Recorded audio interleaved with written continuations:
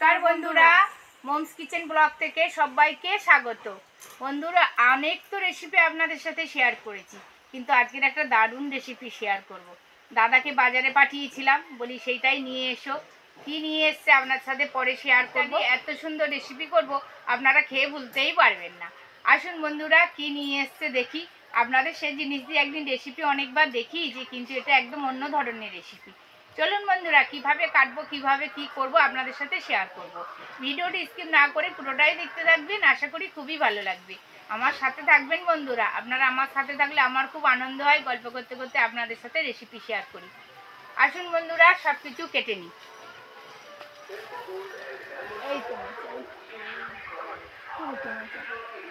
ছাড়ছে না হ্যাঁ এবার ছেড়ে যাবে একদিনের মধ্যেই ছেড়ে যাবে। এই তো পড়েছে রে বাবু।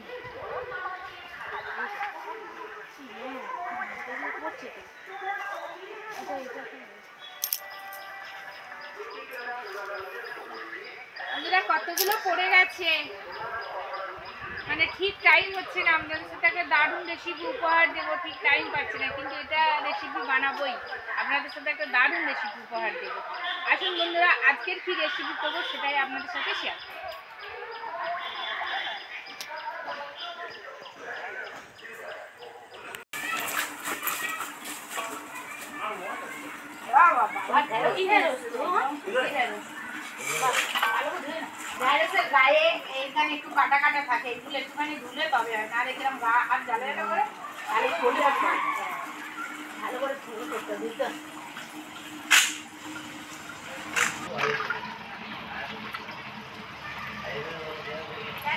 সুন্দর করে ধুয়ে নিলাম নাহলে হাত এমন কিটকিট করে হাতের মধ্যে লাগলে ঢ্যাঁড়সের কাঁটাগুলো ধুয়ে নিলাম, এবার কীভাবে কাটবো দেখতে থাকুন।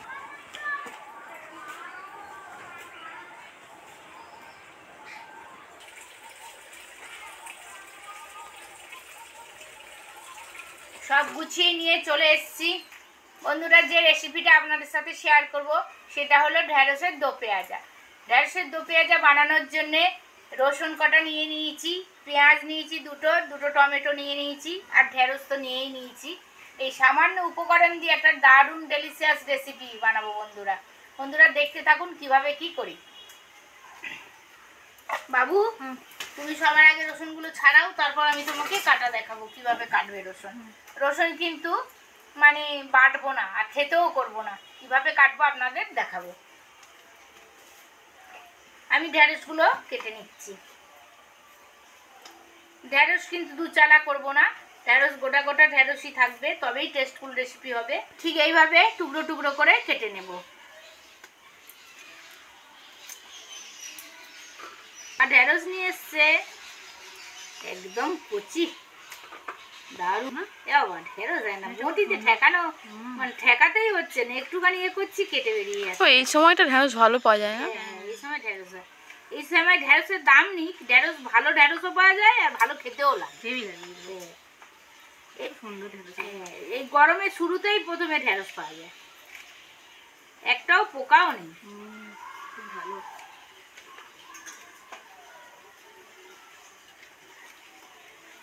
এখন দাম বেশি, তাই না আপনারা তো অনেকভাবে ঢ্যাঁড়স খেয়েছেন আর অনেকভাবে রেসিপি করে দেখিয়েছি, কিন্তু এই রেসিপিটা যেভাবে বানাবো আপনারা স্টেপ বাই স্টেপ দেখতে থাকবেন।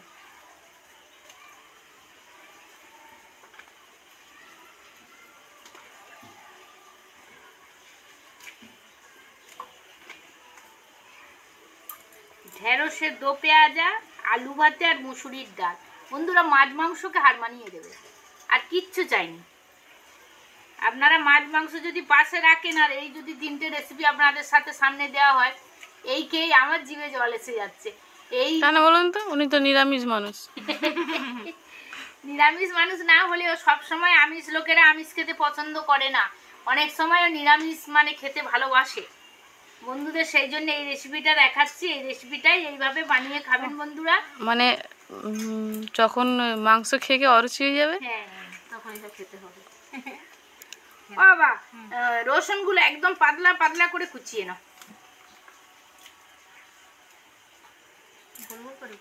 না লম্বা লম্বা। একদম পাতলা পাতলা করে কুচিয়ে এরকম লম্বা হ্যাঁ হ্যাঁ। ওরকম আগে দু তিনবার লম্বা করে নাও তারপরে ইয়ে করো। এই তো এই দেখো আমাকে দেখো এই দেখো। রসুনগুলো ঠিক এইভাবে একদম লম্বা লম্বা কুচি কুচি করে কেটে নেব। সরু সরু। সরু সরু করে কেটে নেব। এইগুলো মানে ঢ্যাঁড়সের সাথে একটু একটু মুখে পড়বে আর দারুণ ফ্লেভার বেরোবে হেভি তো? করা সিস্টেম? হ্যাঁ। টমেটোটা গুছিয়ে কেটে নিচ্ছি।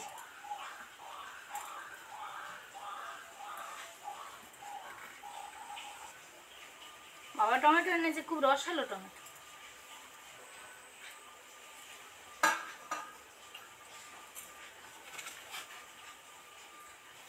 পেঁয়াজটা এবার কেটে নেব। একটু লম্বা লম্বা করেই কাটবো। যে কোনো রেসিপির যে কোনোভাবে পেঁয়াজ সবজি কাটলে হয় না বন্ধুরা। যে রেসিপি সেই রকম মানে সবজি কাটলে, সেইভাবে পেঁয়াজ কাটলে তবেই টেস্টি হয়। সেই জন্য এই লম্বা লম্বা পাতলা পাতলা করে পেঁয়াজগুলো কেটে নিচ্ছি। রসুনগুলো একটু লম্বা লম্বা করেছি বলে পেঁয়াজটা যদি এটা বড় পেঁয়াজ হতো, আবার দু টুকরো করতাম। ছোট পেঁয়াজ বলে শুধু লম্বা লম্বা, পাতলা পাতলা করে কেটে নিয়েছি। সব তো গুছিয়ে কেটে নিলাম। এবার আমার সাথে আসুন, কীভাবে করি দেখতে থাকুন। বন্ধুরা, আপনারা আমার সাথে থাকলে গল্প করতে করতে রেসিপি শেয়ার করি, আমার খুব ভালো লাগে। বন্ধুরা, কোথাও যাবেন আমার সাথেই থাকবেন।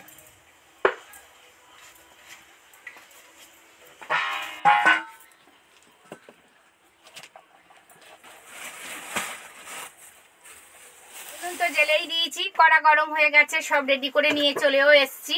এবার কড়ার মধ্যে তেল দিয়ে দেবো।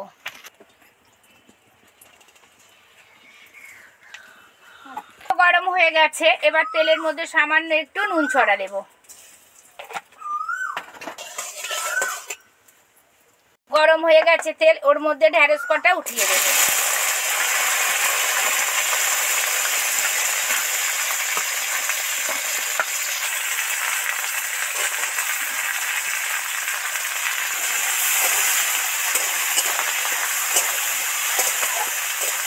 এইভাবে একটু বেশি পরিমাণে তেল দিয়ে আর নুন দিয়ে ঢ্যাঁড়সটা ভালো করে ভেজে নেব। ঢ্যাঁড়স ভাজার জন্য দু মিনিটের জন্য ঢাকা দিয়ে দেব। ঢাকাটা খুলবো, ঢাকাটা খুলে ওর মধ্যে একটু হলুদ গুঁড়ো অ্যাড করব। ঢ্যাঁড়সের মধ্যে হলুদ গুঁড়ো দিলে একটা ঢ্যাঁড়সের কাঁচা গন্ধ সেটাই চলে যাবে। যে কাঁচা ভাত গন্ধ থাকে সেটাই আর থাকবে না।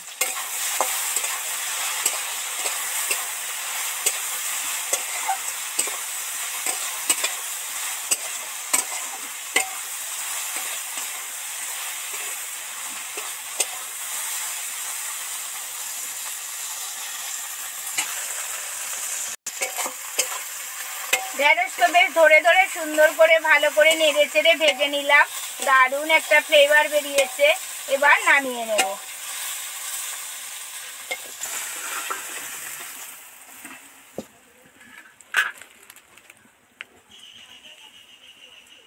মধ্যে আর একটু তেল অ্যাড করব।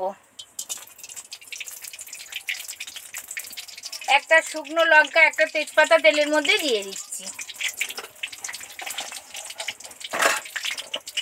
ওর মধ্যে সামান্য পরিমাণে চিনি অ্যাড করছি।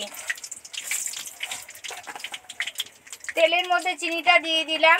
তরকারিতে যারা চিনি খান না চিনির মানে কোনো খেলে যদি প্রবলেম হয়, এরপরে এই তেলের মধ্যে দিলে আর কোনো প্রবলেম হবে না।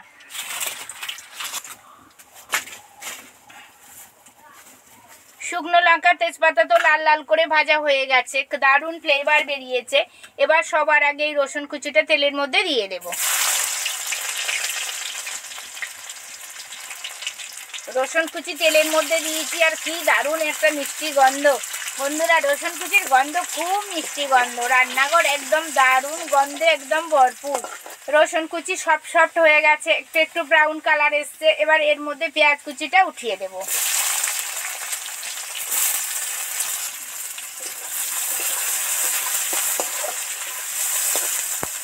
পেঁয়াজ রসুনের তেলের মধ্যে একটু সামান্য নুন নুন অ্যাড করব। রসুন, পেঁয়াজ যাতে তাড়াতাড়ি সফট সফট হয়ে যায়।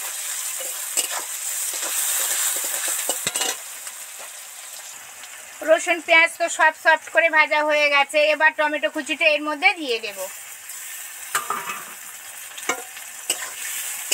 নেড়ে চেড়ে দু মিনিটের মতো ঢাকা দিয়ে দেবো, যাতে টমেটোগুলো সফট সফটভাবে ঘেটে যায়।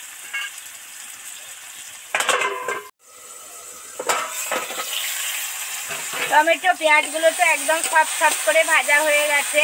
এবার এর মধ্যে মশলাগুলো অ্যাড গুঁড়ো দিয়ে দেব। হলুদ গুঁড়ো।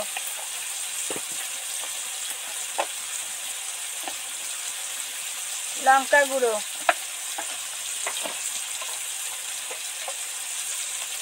জিরে, ধনে, মরিচ গুঁড়ো। নুন তো আগেই দিয়েই দিয়েছি, এখন আর নুন দেব না। টেস্ট করে তবেই নুন দেব।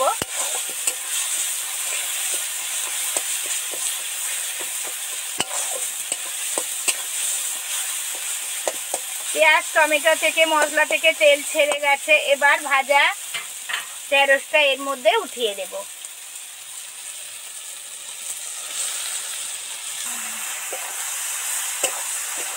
ভালো করে নেড়ে ছেড়ে মিশিয়ে দেবো।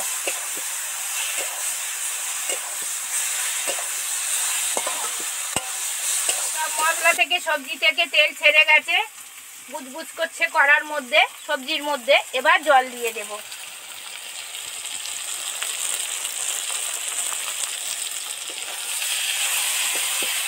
যেহেতু ঢেঁড়স ছাকা তেলে ভাজা ছিল, সেই জন্য অল্প পরিমাণেই জল দেব।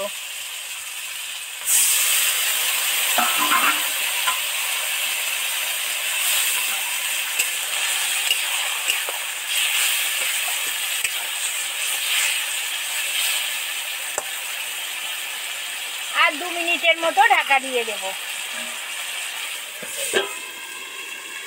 মিনিট পর ফিরে এসেছি। মনে হচ্ছে তো কমপ্লিট হয়ে গেছে, কারণ তেল একটা বুজবুজ বুজবুজ করে সেই আওয়াজটা হচ্ছে।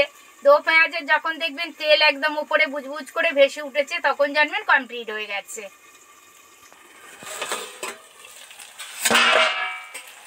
দেখুন, তেলটা পুরো উপরে দো পেঁয়াজের ভেসে উঠেছে। এইভাবে যখন তেলগুলো উপরে ভেসে উঠবে, তখন জানবেন পুরো কমপ্লিট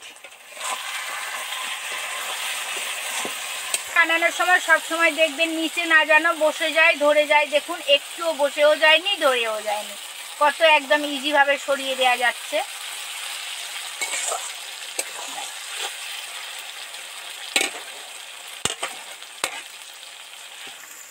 আপনাদের সাথে তো বসন্তকালে দো পেঁয়াজা কমপ্লিট করে ফেললাম। বন্ধুরা, একমাত্র দো পেঁয়াজা বানানোর একটাই উদ্দেশ্য বসন্তকালে যে কোনো দানা খেলে খুবই ভালো। বন্ধুরা, যে কোনো দানা।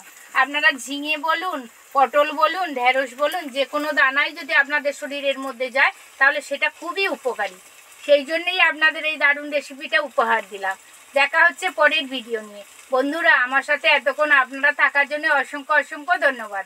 আমার ভিডিও আমার রেসিপি যদি আপনাদের ভালো লেগে থাকে, তাহলে লাইক কমেন্ট সাবস্ক্রাইব করতে ভুলবেন না। প্লিজ প্লিজ বন্ধুরা সাবস্ক্রাইব করে আমার পাশে থাকবেন। আপনাদের ভালোবাসা, আশীর্বাদ আমার একান্তই প্রয়োজন। আর যারা নতুন বন্ধু আছেন সাবস্ক্রাইব শেয়ার করে আমার পাশে থাকবেন। আর পাশে থাকা বেল আইকনটি ক্লিক করবেন, সমস্ত ভিডিওগুলো সবার আগে আপনাদের কাছে পৌঁছে যাবে। ভালো থাকবেন, সুস্থ থাকবেন, সাবধানে থাকবেন। নমস্কার, ধন্যবাদ।